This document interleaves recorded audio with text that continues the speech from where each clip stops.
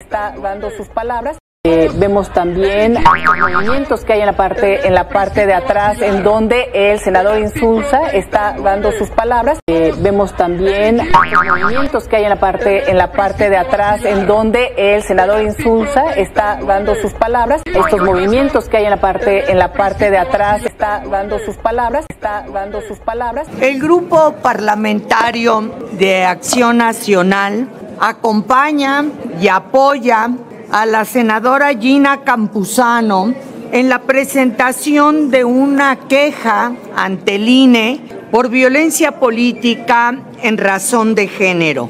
Esto debido a los hechos ocurridos durante la sesión del 11 de septiembre del 2024, al principio de esta legislatura, cuando nos encontrábamos en la discusión de la reforma del Poder Judicial, precisamente en la sede de Jicotencatl. ¿En qué consiste esta queja? El 12 de septiembre, el senador Noroña, es decir, un día después de la sesión, publicó en su canal de YouTube, GF Norona, un video titulado 20 congresos estatales aprueban la reforma, donde hace comentarios sexistas y hace sujeta de burla a la senadora Gina Campuzano por lo ocurrido en esta sesión legislativa que les comento en Jicotencatl, en donde de manera involuntaria se abrió su blusa. Este video ha sido publicado en diversas redes sociales. Ha generado comentarios, múltiples comentarios sexistas, machistas y ofensivos por parte de los usuarios. Las expresiones que utiliza el senador Noroña para referirse al suceso, pues constituyen de suyo un ejemplo típico de violencia política en razón de género. Es por eso que el Grupo Parlamentario de Acción Nacional hoy acompaña a la senadora Gina Campuzano en la presentación de esta queja, solicitando al INE la inmediata suspensión de esta transmisión. El que se prohíban emitir nuevas declaraciones respecto de los hechos que son motivo de la queja. Y una serie de medidas cautelares en donde les pedimos a las autoridades electorales el seguimiento de las expresiones que frecuentemente después de estos hechos se expresan en redes sociales y que sigamos trabajando en la sensibilización de el compromiso de no aceptar ni hombres ni mujeres la violencia política en razón de género. No es un asunto solo de mujeres, es un asunto en el que tanto los hombres como las mujeres debemos de tener plena conciencia. Quisiera yo pedirles, va a haber un, un video en donde están referidos los hechos que les comento durante el programa de YouTube GF Norona. Pero lo van a pasar con después. No, me moría yo de la risa, me moría yo de la risa y me muero de la risa de todos los memes que están haciendo y las canciones y que me enamoré de un bellaco y no, no, no, no, no, no, no, no. Para nada celosa. No, no es celosa, Emma. Y, y, este, hasta iba a titular Bella Company, pero no, eso da demasiada importancia a lo real. Este video que han estado transmitiendo insistentemente que se le abre la blusa a una senadora de Acción Nacional es de Durango. A ver si me dan su nombre porque si no van a acusarme de invisibilizarla, aunque está más visibilizada que nadie. Gina Campuzano, ya me lo resolvieron Campuzano con Z. Yo quería darle chicharrón a estos cabrones. Yo francamente creo que se le abrió accidentalmente, Emma hasta que se sube por las paredes y dice que no, que eso fue a propósito. Me creí dirían que no la vi. O sea, yo ve, hasta que veo el video vi lo que pasó. Yo volteo por la, por la empujadera y luego me volteé para otro lado. La verdad es, o quizás la vi, yo no lo recuerdo. A ver, yo no recuerdo haberla visto. O sea, hay veces que ves sin ver, sin, sin darte cuenta, estás pensando en otra cosa. Yo creo que pasó algo así, pero yo no lo recuerdo. Y hasta ahora que he visto el video, pero a lo mejor sí fui consciente, porque me volteo y, la cara que pongo, o sea, no de, bueno, lo que hay que estar enfrentando. Oh, oh bueno, pues no vi, o sea, no, no me moría yo de la risa, me moría yo de la risa y me muero de la risa. Gracias. Queremos darle la palabra a nuestra compañera del Grupo Parlamentario de Acción Nacional, Gina Campuzano, para que exprese su punto de vista. Muchas gracias. Lo que algunos hombres, no todos, pero sí algunos machos no entienden es que no es de risa. No es de risa la violencia en contra de las mujeres. No es de risa que un jefe te acose. No es de risa que un macho te grite o te golpee. No es de risa que el presidente del Senado revictimice a una senadora que se le abrió la blusa en público. No es de risa que el presidente del Senado cometa violencia política de género. Este acto de violencia política de género es una injusticia, pero esta injusticia de nada se compara con la violencia que viven millones de mujeres en todo el país. No levanto la voz por mí, la levanto por todas las mujeres. Me decían, y eso era muy común, ya deja el asunto en paz, te van a volver a revictimizar, le vas a volver a dar vuelo a ese video, pero no me puedo quedar callada, porque quedarnos calladas jamás van a entender esos machos que no es aceptable ninguna violencia de ningún tipo, de ningún grado en contra de las mujeres.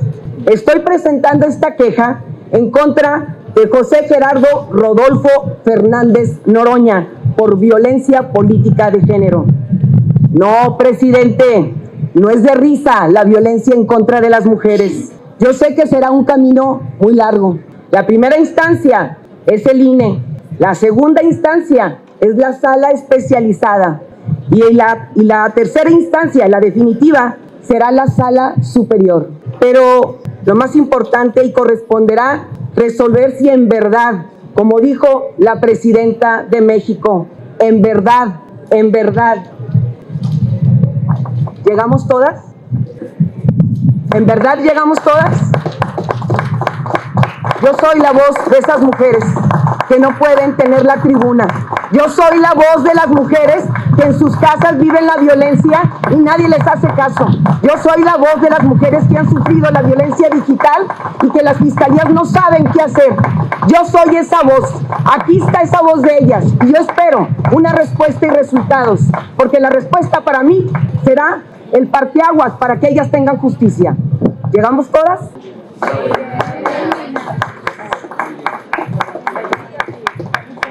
¿Alguna quiere? Aquí está el acuse. Aquí está el acuse de la queja que presenté ante el. Ah, bueno. Aquí está.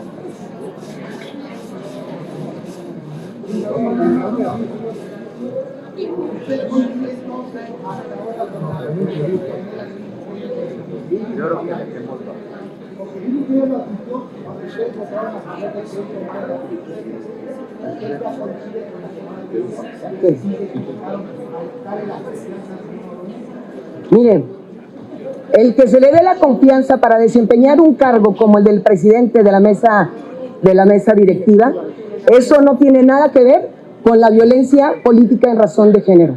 Una cosa es lo que él tiene que desempeñar y respetar como la figura que, que allí debiera de ser respetuoso ante todos y otra cosa muy distinta lo que hace. Nada más que el Señor tiene doble moral, eso sí es cierto. Hay que acercarte a ti y pedirte una disculpa pública. Tiene que hacerlo, tiene que hacerlo, a final de cuentas, porque eh, eh, él, si ustedes recuerdan, se victimizó por una agresión que él estuvo en una sala VIP y me ofendí. Ahí es donde dije, no es posible que estén actuando con doble moral, la doble moral no se vale, porque siempre va a haber un video, una imagen.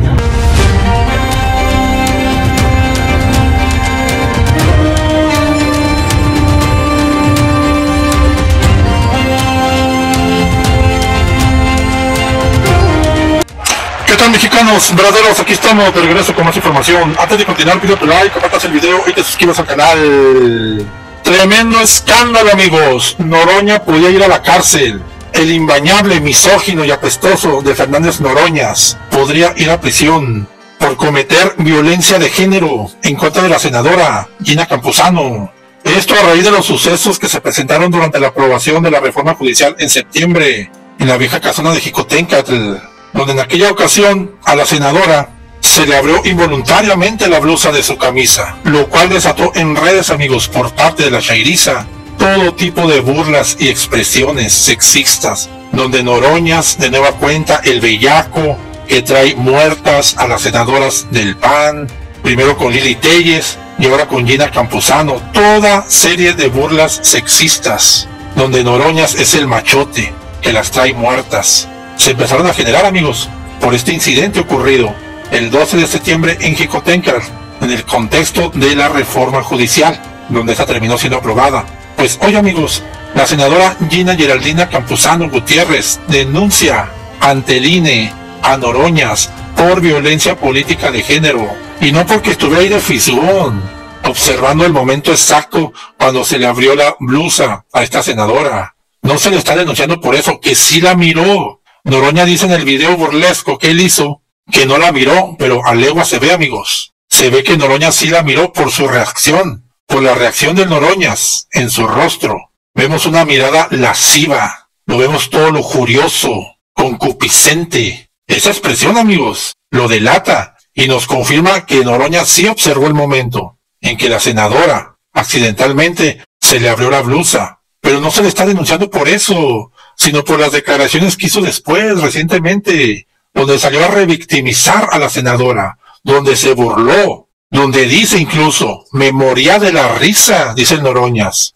Luego de que la mire, memoria de la risa, por eso la denuncia es, no es de risa. Y esa es la razón por la cual lo están demandando, por violencia política de género, por volver a hablar del asunto y referirse a ella de manera vulgar, de manera corriente, de manera obscena y de manera burlesca, haciendo que él es el presidente del Senado y nunca se disculpó ante la senadora. Y sigue sin hacerlo, pero ah, él qué bien que se revictimiza él. Cada vez que se mete a una sala VIP, él sí se victimiza y se revictimiza, porque es un doble cara. Recuerden amigos que acabamos de denunciar a Noroñas en este video, donde su propia hermana lo acusa de violentarla sexualmente, un video que gracias a ustedes ya se salió de esta aplicación, se salió de esta plataforma y ya está en todas las redes sociales. Ya estoy viendo el video ahí, viralizado en todas las redes sociales, en todas, no nada más en YouTube, y eso se los agradezco, porque nosotros volvimos a sacar en contexto esta situación de esta denuncia de la hermana de Noroñas, que de dónde saqué yo la información, yo la saqué de una cuenta pequeña, que no tiene suscriptores, es de una sola persona, y el video apenas tenía 30 vistas, amigos. Con el permiso del propietario,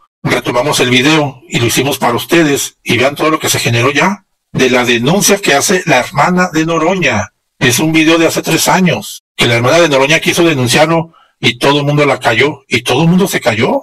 Aún antes de que se aprobara la ley Olimpia, antes de todo eso, la hermana de Noroña salió a denunciarlo. Pero nadie la escuchó y ahora con todo esto, amigos, con todas estas denuncias que abundan, ahora que llega una mujer a la presidencia y que las mujeres se empoderan, la propia hermana de Noroña lo denuncia. Y gracias al impulso que le dimos nosotros a la hermana de Noroña, pues ya este, amigos, está enfrentando ahora otras denuncias como esta por parte de la senadora Gina Campuzano, que se le van a juntar a Noroñas, amigos, se le van a juntar y no va a poder con el peso de ellas. Y si también lo denuncian a través de la ley Olimpia, pues va a la cárcel, este imbañable, por misógino, por fisgón, por morbosón, porque sí miró a la senadora. Cuando voltea, la mirada lasciva lo delata. Y no es por esto, amigos, porque todos lo vimos. Y todo el que hubiera estado ahí, pues era imposible porque fue un acto involuntario. La senadora no lo hizo a propósito, era imposible que Noroña no lo viera. No se le está acusando por eso. Él ya tenía la mirada puesta hacia ese punto, cuando se dio el incidente.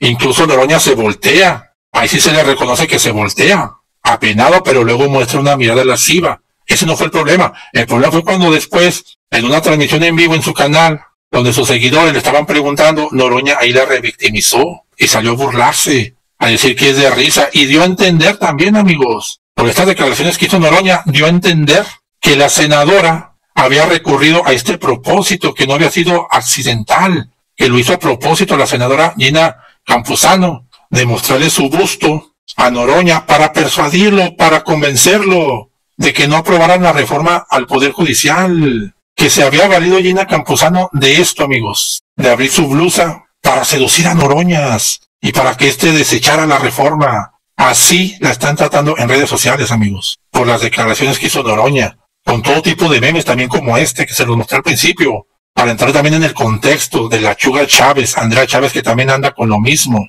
pero ella no tiene justificación lo que está haciendo. Si lo comparamos con esto, porque la foto de la Chuga Chávez es una imagen que ella misma subió, y si tú analizas la imagen que la Chuga subió, a la que modificaron este dibujante del financiero, que modificó la foto con inteligencia artificial, te das cuenta que la imagen es la misma. Entonces ahí no aplica lo de Andrea Chávez. Pero aquí con lo de Noroña sí, amigos. Porque también ya después con las declaraciones que hizo Noroñas, generaron todo tipo de lluvia de memes como este, donde también están diciendo que Noroñas es todo un cemental, un poderoso bellaco, y que trae locas a todas las del Senado, particularmente a Lili Telles y a Gina Campuzano, que por eso esta terminó enseñándole las boobies a Noroña, pero que ni con todo eso lograron detener la reforma. Esa es violencia política de género, amigos. Y el culpable es Noroña. Tiene que enfrentar la justicia, pero pues ¿cómo la va a enfrentar la justicia? Con esta reforma judicial que se acaba de probar, amigos. Al contrario, si van a juicio, lo más probable es que terminen encerrando a Elena Campuzano en la cárcel. Y Sheinbaum termine ofreciéndole una disculpa a Noroña por haberlo violentado en su masculinidad. A ese extremo aberrante, amigos, están llegando, ¿eh? Esto sí es absurdo, lo absurdo de lo absurdo. Y pues justa razón, Gina Champuzano se cuestiona si es que llegamos todas, si todas las mujeres realmente llegaron al poder o solamente fue una. Pues la respuesta es que nomás llegó una, amigos. Yo por eso, mexicano, no me había querido pronunciar por esto, porque pues esto del video, porque pues este suceso de la blusa, yo lo vi desde el primer momento. Pero por respeto no quise hablar nada de esto, ni tampoco de lo de Andrea Chávez. Pero pues ya con esto también están rematando a Andrea Chávez. están cayendo el hocico a la chugar porque esto sí es real. Lo de la Sugar es una vacilada. Ella misma subió la foto de manera provocativa. ¿Para qué? Pues para provocar precisamente esa acción. Y si se fijan, a mí se me hace más provocativa la foto que subió la propia Sugar al principio que la que modificaron. Porque el contexto es el mismo, el propósito es el mismo. Y yo pienso, amigos, que estas cosas se deben de coser aparte, no tienen nada que ver con la política. Que si hay que meter a la cárcel a los involucrados en ambas partes, tanto por el lado de Gina Camposano como por el lado de Andrés Chávez, que los metan a la cárcel, pero que no quieran politizar esto, porque esto no son asuntos políticos, esto no es asunto de interés público. Esto que estamos viendo, amigos, pareciera que es un programa de, de chismes. Es como si estuviéramos ya en la casa de los famosos. Es como si estuviéramos viendo ventaneando. Y al caso con eso, amigos. Hay cosas más importantes de qué hablar. Pero ya esto es una denuncia ante el INE porque de entrada se tiene que cortar el segmento de la sesión de ese día en la casa de Jicotencatl. Tienen que eliminar esta parte que, pues nada va a servir que la eliminen porque pues ya en redes sociales está viralizado este momento penoso para la senadora que de ahí no se va a poder borrar nunca. Y pues como eso no repara el daño, la denuncia contra Noroña tiene que seguir con todo el peso de la ley para que esto ya no se siga repitiendo, para que ya no le siga dando risa a Noroña, que reitero, está la denuncia de su propia hermana. No es cualquier cosita, amigos. Pero pues todo esto, mexicanos verdaderos, a Noroña no le importa porque vean, Noroña ya anda en campaña, siendo presidente del Senado, está aprovechando esta figura mediática, donde ahorita tiene todos los reflectores hacia él, y ya inició una campaña a nivel internacional para pasearse por todo el mundo y a la vez catapultarse, autopromocionarse para la candidatura a la presidencia en 2030 por Morena. Porque ya lo dijo Noroñas, en 2030 le va a competir a Andy. Y aquí se confirma una vez más el pronóstico que ya les hice, de que va a ser nada más de Morena donde va a salir el candidato a la presidencia. ¿Qué digo con esto? Que en las postrimetrías de la elección de 2030, cuando se defina al candidato oficial, en el proceso de las precandidaturas, cuando todos empiezan a levantar la mano en Morena, y que se dé el proceso interno, que todos vimos también, en este proceso de 2024. En cuanto Morena defina quién es el candidato, ya ahí en este momento ese candidato por default es el presidente, tal y como lo vimos con Chainbaum, con Adán Augusto, con Ricardo Monreal, con el propio Noroña. En cuanto se decidió que quien había ganado la candidatura era Chainbaum, ahí todos supimos que ella era la presidenta y así sucedió. Así va a pasar para el 2030. Y ya Noroña quiere ser el primero en dar el paso para llevar cierta ventaja respecto a Andy, que Andy ya es el candidato oficial, pero aún no lo destapan. Todos sabemos que es él. el macizo. Pero Noroña quiere ser el que de manera pública esté en primer lugar y ya arrancó, amigos, su campaña con este eslogan de Noroña Internacional, donde el presidente del Senado, con dinero de los mexicanos, dinero público, ya empezó a hacer su campaña a la presidencia. Noroña está con la idea que del Senado como presidente se va a brincar a presidente de la República. Y para ello ya arrancó su gira internacional en Estados Unidos, donde Noroñas, aplicando una diplomacia internacional en sus viajes al extranjero, en sus viajes fifís, viajes de lujo, en primera línea, incluyendo salas VIP en todos sus aeropuertos,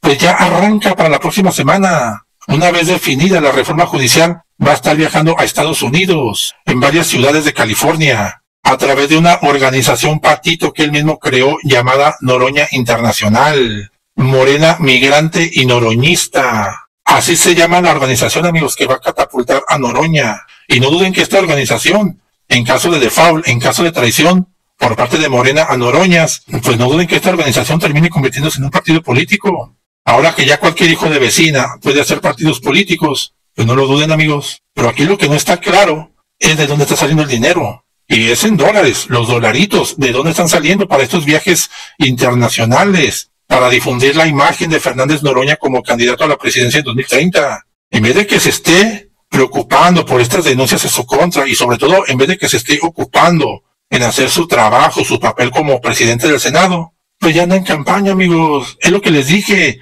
para Morena ya arrancó el 2030. Ellos ya están en campaña. Andy está en campaña. Luisa María Alcalde está en campaña. Y cuando arranque el proceso interno de Morena para definir esta candidatura, pues todos los precandidatos que van a participar van a ir a hacerle montón a Andy. Pero en cuanto se elija el candidato, ese en automático será el presidente. Y ya, ya les resumí todo el sexenio, amigos. Ya vámonos a descansar mejor. Vamos a dedicar a otra cosa porque ya sabemos qué es lo que va a pasar en 2030. No hay nada a la vista que pueda mover un centímetro de este escenario que te acabo de dibujar aquí. No hay nada que lo modifique. ¿Quién lo va a hacer? Dime tú quién lo va a hacer. Te doy 30 segundos para que lo resuelvas. No se ocupa ni medio segundo. Esa es la lamentable realidad que nos espera. Que ojalá yo quisiera que prosperara esta denuncia de esta senadora, pero pues no va a pasar, amigos. No va a pasar ni del INE. El INE ni va a borrar nada. Van a decir que la víctima es Noroña. Y pues ya en la corte, ¿qué va a pasar? Si apenas pueden con lo de la reforma judicial. Y pues ya con la nueva reforma, amigos, recuerden que estos criminales y delincuentes como Noroñas son las víctimas. En una de esas, la que termina en prisión es la senadora Campuzano. Van a decir que ella se le ofreció, que lo quiso seducir para engañarlo, para que se equivocara y terminara desechando la reforma en el Senado. Eso es lo que están diciendo los chairos, amigos, por las declaraciones de Noroña. Y pues reitero, lo de la Chuga Chávez no es lo mismo porque ella subió la imagen. Ella dio pie a esa situación. La imagen original, ella la publicó en sus redes sociales, que no fue el único ingrediente, está todo, todo el suceso aparte, que vivió junto a Dan Augusto, cuando le anduvo haciendo la campaña. Ahí están todas las imágenes también virales. Lo de Gina Camposano sí es serio, ella sí está ofendida, pero la Sugar no está ofendida, amigos. En los videos que salió diciendo, porque primero dijo que no iba a denunciar, dijo que ya le había perdonado a su agresor. Y al día siguiente, con la misma actitud, volvió a decir que siempre se iba a denunciarlo. Es decir, esta chamaca tonta no sabe ni lo que quiere, no sabe ni lo que dice. Y en su rostro no se ve la molestia de que esté ofendida. Se ve extasiada de que logró el propósito con su imagen, de desviar la atención. Y su antecedente con Adán Augusto no le beneficia. No es una mujer honesta, Andrea Chávez. Ella misma provocó esta situación al subir la imagen que luego fue modificada. Al ser figuras públicas, tienen que tener mucho cuidado de qué imágenes están publicando en sus redes sociales, porque no son actrices de películas porno. Se supone que es una senadora, puede poner todas las fotos que quiera, pero también tiene que respetar su investidura como senadora. Porque si va a querer andar divulgando ahí sus carencias o sus fortalezas, tiene todo el derecho de hacerlo. Lo puede hacer, todo el mundo lo hace, todas las mujeres lo hacen. Muestran su cuerpo, no está prohibido pero primero que renuncie como senadora, porque como senadora no lo puede hacer, así de simple. Y no porque se lo prohíba ninguna ley como Leña Batres, pero sí se le impide el pudor, el recato y el respeto a los demás, el respeto a la institucionalidad a la cual ella pertenece como lo es el Senado.